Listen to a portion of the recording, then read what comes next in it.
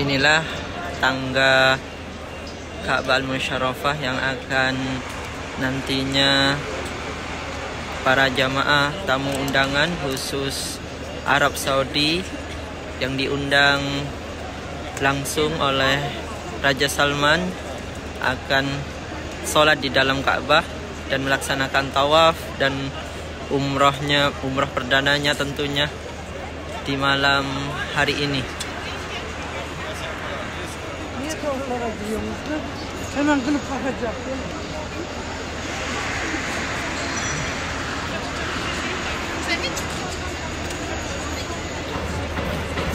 Itu ya tangganya sangat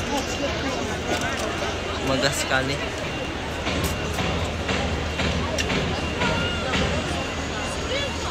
Dan ini dikembalikan, tidak cocok mungkin. Nah, sudah dikembalikan ini. Ağır okulda şurada içelim.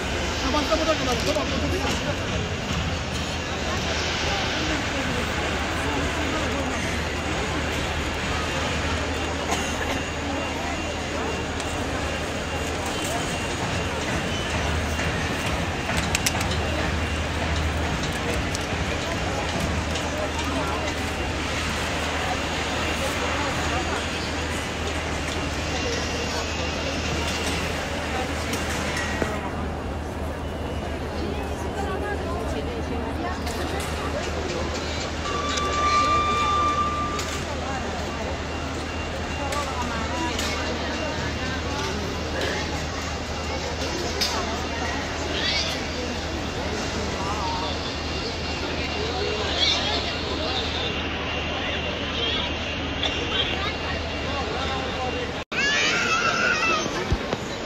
Masya Allah, tabarakallah ya Malam hari ini.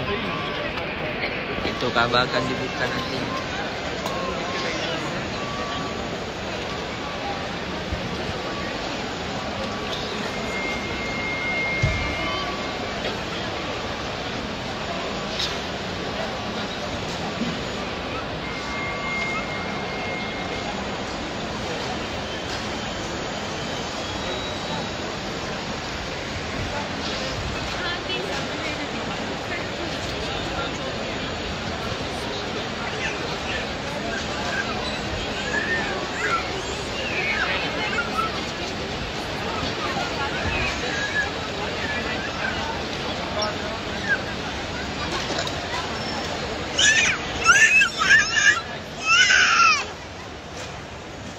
Malam hari ini ada tamu spesial Tamu undangan dari Arab Saudi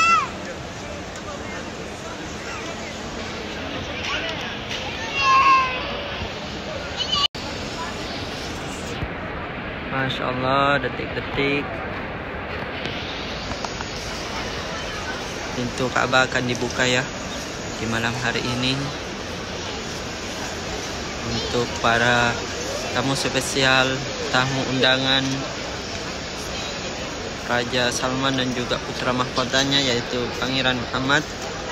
Malam hari ini dari berbagai negara Indonesia juga termasuk di antaranya Alhamdulillah dan akan dibuka dan juga akan dikawal nantinya ketika melaksanakan tawaf dan juga sholat di dalam Ka'bah Musyarrafah mencium hajar aswad dan berdoa di multazam. Menjadi tamu spesial menjadi, tamu khusus Insyaallah. Masya Allah. Seperti itu ya. Seperti ini.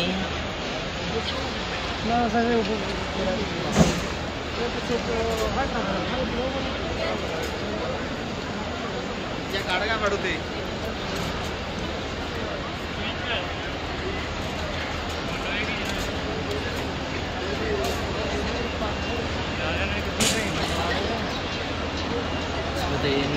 Tangga menuju dalam Ka'bah Al-Mukarramah. Dalam Ka- Ka'bah Al-Musyarrafah maksud saya. Dan ini diganti tadinya ini dan sekarang sudah diganti dengan yang lebih spesial tentunya. Ini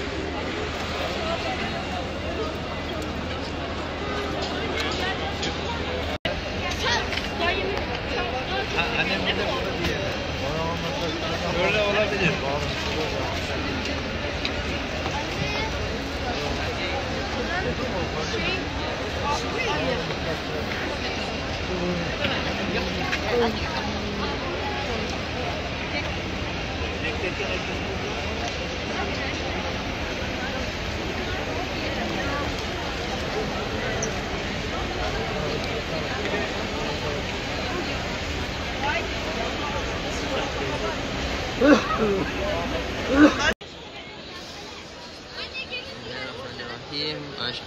Allah Di malam hari ini ada tamu kerajaan Dari berbagai negara yang Khusus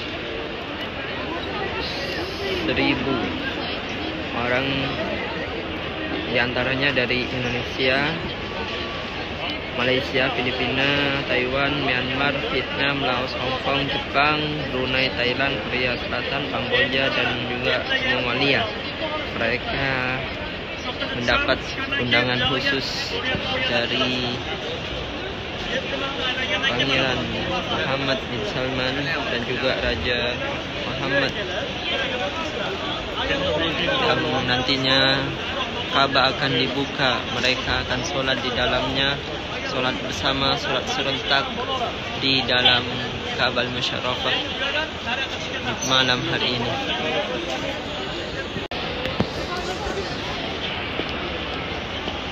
Masya Allah, tabarakallah ya. Di malam ini ada tamu spesial dari berbagai daerah tentunya.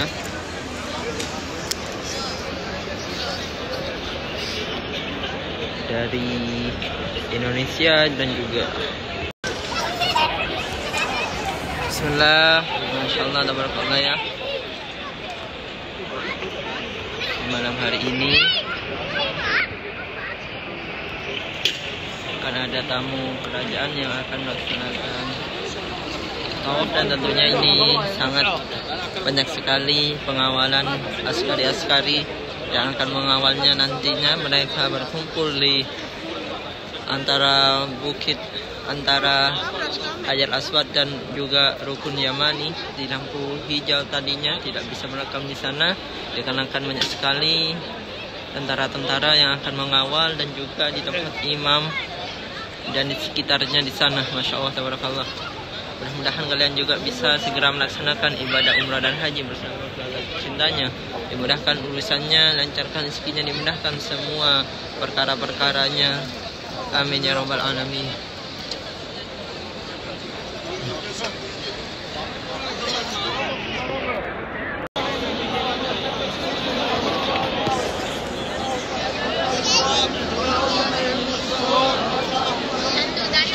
Masya Allah ya malam hari ini Masjidil Haram sangat wangi ada bahur tentunya dan ada tamu kerajaan yang akan melaksanakan umroh di malam Selasa ini.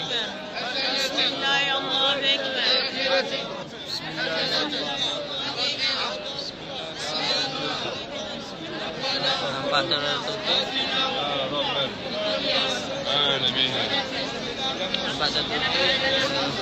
Hajar Aswad dan Multazam dikarenakan untuk mereka nantinya yang akan melaksanakan sholat sunnah dan juga mencium Hajar Aswad dan berdoa di Allah en büyüktür. Allah'ım sana iman ederek kitabını tasdik, ahdine vefa ve peygamberi sallallahu aleyhi ve sellem sünnetine uyarak başlıyorum. Allah'ım sana kulluk vazifemdeki kusurlarım sebebiyle benim üzerimde cezasına ait birçok hak vardır. Onları bağışla. Aynı şekilde üzerindeki kullarına ait olan haklarını sen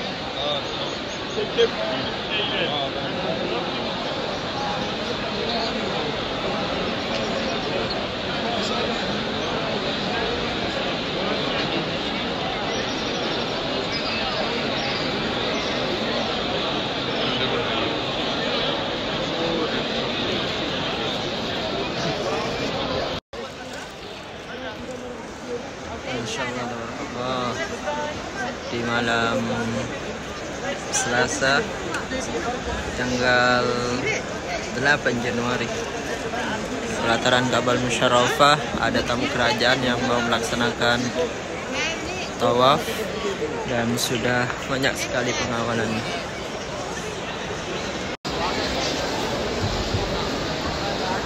Masya Allah, Allah. चले ठीक है। करके अगर nanti वापस वो मस्जिद वाली जगह पे आ जाएँगे। ठीक है। फ़ोन कर लेना अगर ना मिले तो करना। मिलेगा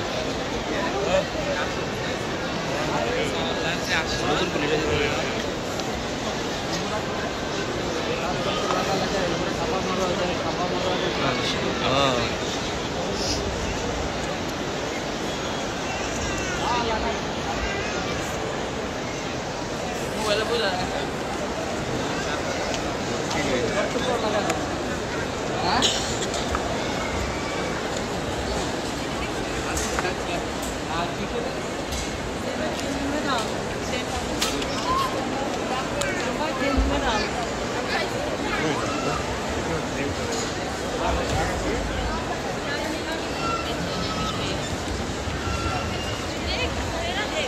जहाँ ये P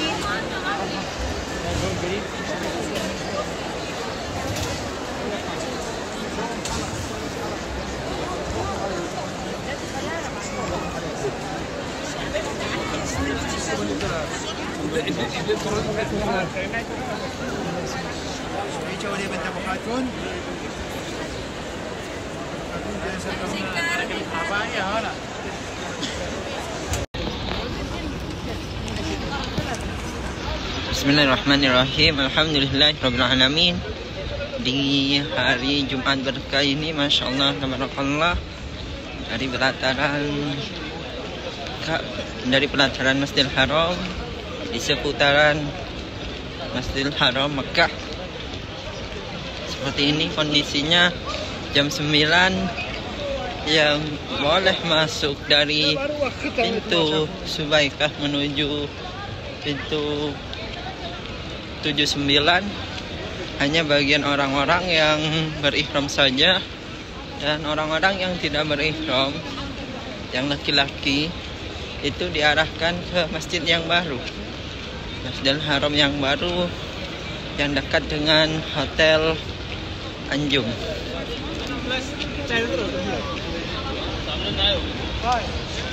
so di sana adalah pintu 79 Malik Fahad.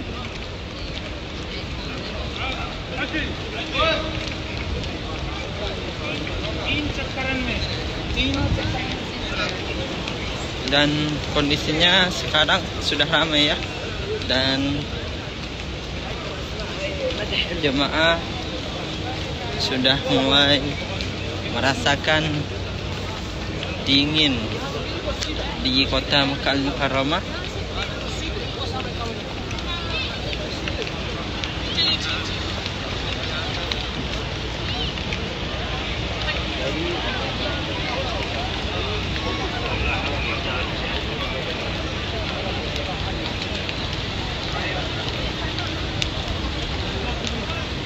لبيك اللهم لبيك لبيك لا شريك لك لبيك إن الحمد لله ما والمر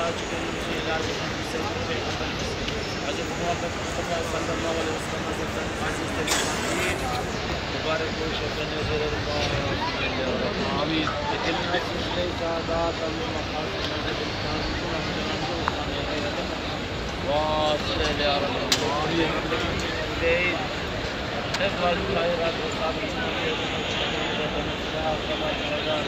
العالمين